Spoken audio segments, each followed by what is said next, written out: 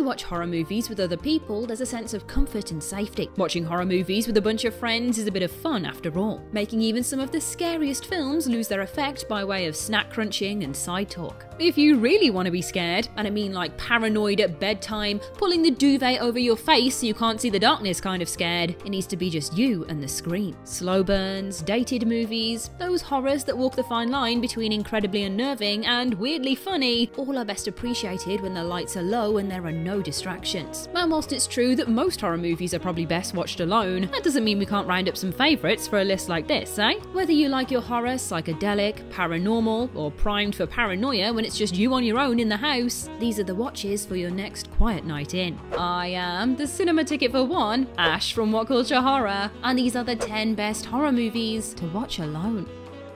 10. Nosferatu.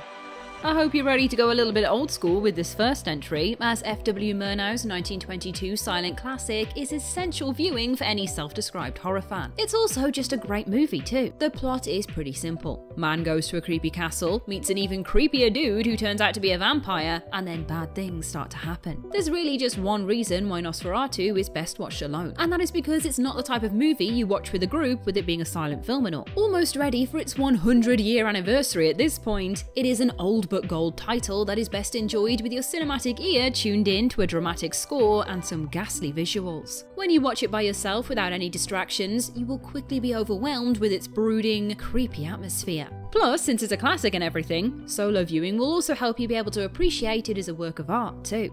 9. Mandy in the wrong hands, art house horror can drift too far into pretentiousness. But that is not the case with Mandy at all. Yes, it is heavily focused on maintaining a hypnotic style through glacial pacing and characters often bluntly ruminating on the nature of existence, but it is also pulpy as hell. Hello, cults and sadomasochistic bikers is probably all I need to say here. The violence on display in Mandy is just barely more over the top than Nicolas Cage's genuinely moving performance as a man struggling to process his grief. It is this ingenious balancing act between ultraviolent horror and existential philosophy that makes it a great movie to watch alone. Mandy is the kind of flick you throw on when you're in the mood to go down a rabbit hole of cosmic proportions. Its themes are best mulled over in an almost meditative setting.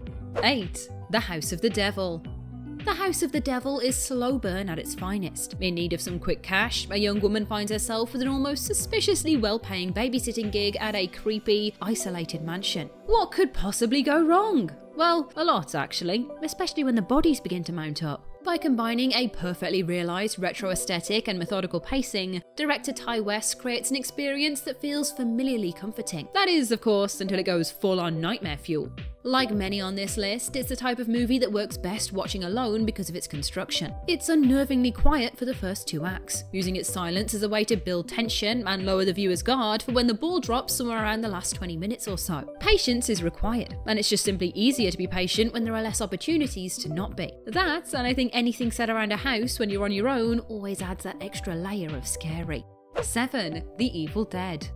Sam Raimi's The Evil Dead is one of the greatest horror films of all time. It is perfect on every level, but for many reasons, sometimes it is a better watch on your own than with friends. We all know the story. A bunch of friends go to a cabin in the woods, and before you can say groovy, all hell breaks loose. Simple, but effective.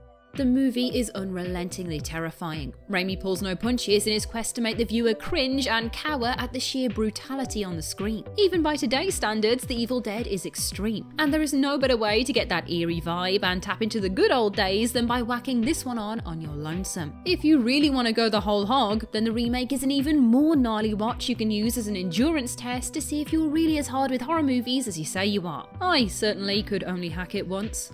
6. Get Out.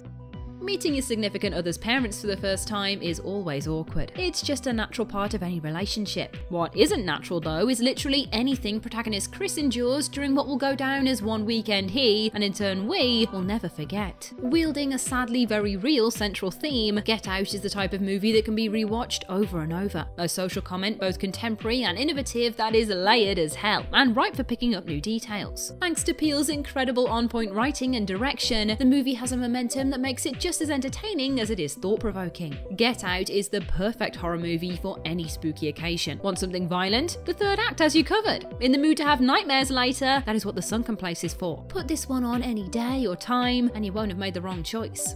5. Veronica. Many have claimed this 2017 Spanish horror film is so scary they've been unable to finish it. While that may be a bit of a stretch, it doesn't take away from the fact that the movie will make you want to sleep under the covers for at least a few nights. Veronica follows a girl who, along with several friends, decide to make the not so smart decision of playing with a Ouija board during a solar eclipse. What follows is three days of unrelenting terror as supernatural forces turn her life into a living hell. Part of what makes this so effective during a solo viewing is the little things. If you pay attention, you'll start to see subtle hints and foreshadowing. There are scares aplenty in Veronica, but the most unnerving ones happen either in the background or are slightly obscured. The moment you notice them, you'll wish you hadn't. Maybe keep some holy water around for this one. 4. Kill List Cults, am I right? You can't live with them, and you'd much rather live without them. Ben Wheatley's 2011 genre mashup follows two hitmen who slowly begin to unravel as they realise that their current employer might be out for more than just blood. The movie is really three in one. It's one part family drama, one part hitman tale, and one part you'll wish you didn't go there folk horror. The thing about Kill List is that similar to Veronica, there are little hints placed throughout the narrative as to what is really going on. For that level of foreshadowing to hit as intended, it takes the viewer's full attention It requires focus. And if you give it that focus, you'll find yourself rewarded with a hair raising feeling of pure terror. It's also a slow burn in the vein of The House of the Devil, and Wheatley uses many of the same methods West does to get under your skin. The difference is, when Kill List goes into full horror territory, it almost feels like it's a totally different movie. 3. Spring. You might be thinking that watching a romance movie alone is a little sad. But hey, I'm not here to judge, just here to tell you there are a few exceptions, such as in the case of Justin Benson and Aaron Moorhead's beautiful yet terrifying Spring. After the death of his mother and assaulting a jerk at work, Evan decides to take a trip to Italy to clear his head and avoid a possible prison sentence. He soon falls in love with a mysterious woman who is far more than meets the eye. The reason this one is here is because of its overall tone and pace, but Spring is a bit different. Most romance movies are meant to be watched with a significant other such as Love Actually or The Notebook.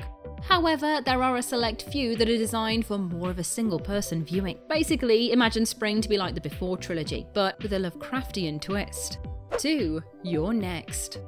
Fun! If there is one word to describe this love letter to the slasher genre, it would be fun. A family gathering at a mansion in the middle of the woods is interrupted by animal mask wearing psychopaths. Little do they know, however, that one of their targets is more predator than prey. Above all else, You're Next is an absolute blast. It plays with and pays tribute to the conventions and tropes of the slasher genre while still feeling completely original. What's really great about it though are the characters, with You're Next having arguably one of the best final girls in all of horror history. Watching her tear through the hunters with raw savagery is a joy to watch. The movie is great to watch alone simply because of its playful nature and home invasion trappings. It wants to entertain the viewer and succeeds with flying colours. And it will have you looking all over your house for what you can use in a pinch should it come under assault, at the very least. 1. The Innkeepers.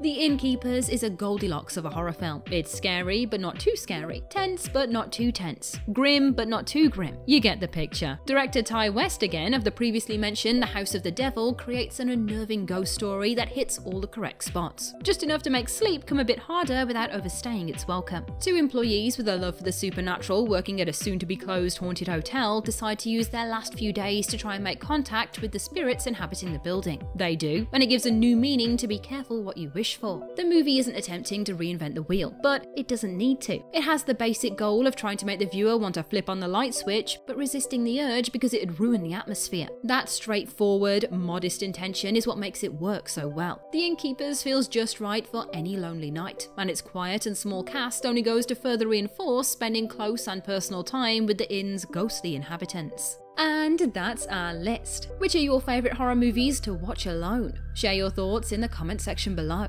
I've been Ash over on social media at Ash Millman, and this has been What Culture. Don't forget to like, share, subscribe, and come back again soon for some more spine tingling horror content. Thanks for watching.